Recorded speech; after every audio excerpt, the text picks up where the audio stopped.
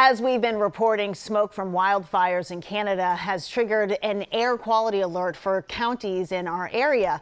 Here with some advice is Dr. Kristin Moffitt, an infectious disease specialist at Boston Children's Hospital. Thanks for joining us, Dr. Moffitt. Hey, Dr. Moffitt, it's great to see you. I- I'm sure it's affected many of us, and I'll be honest with you, it, it, it was so bad the other day I could almost taste it. So let's let's take a look at this map.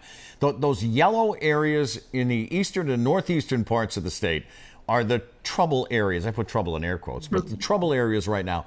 Who is most at risk? So the current air quality conditions are considered unhealthy for sensitive groups. So those sensitive groups really include people with any underlying lung or heart disease.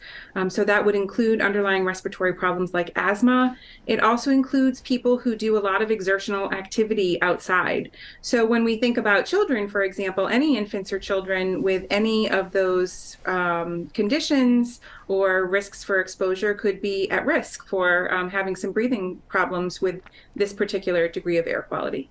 Yeah, let's talk a little bit more about kids, especially infants. What should parents do if they're outside and their child starts coughing? So if if their child is outdoors coughing during conditions like these, heading indoors can be helpful for a number of reasons. Um, certainly, most obviously, it decreases the exposure to pollutants if indeed the cough is is being triggered by exposure to these elevated levels of pollutants. We're also contending still with pretty high levels of seasonal allergens right now. So moving indoors um, could help improve a cough if the cough is due to exposure to allergens. Once they're indoors, um, if anybody has a history of asthma and they're coughing after being outside, they should enact their asthma plan.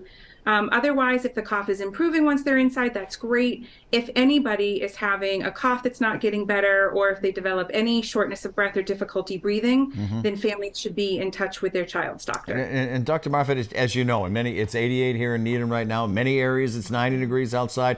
Can a high temperature like that make respiratory problems worse?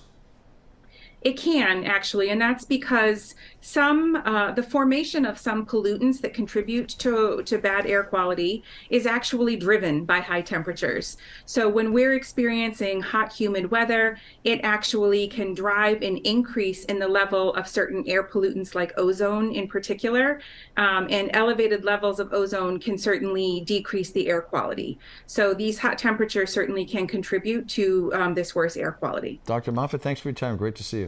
And thank care. you so much, Dr. Moffitt.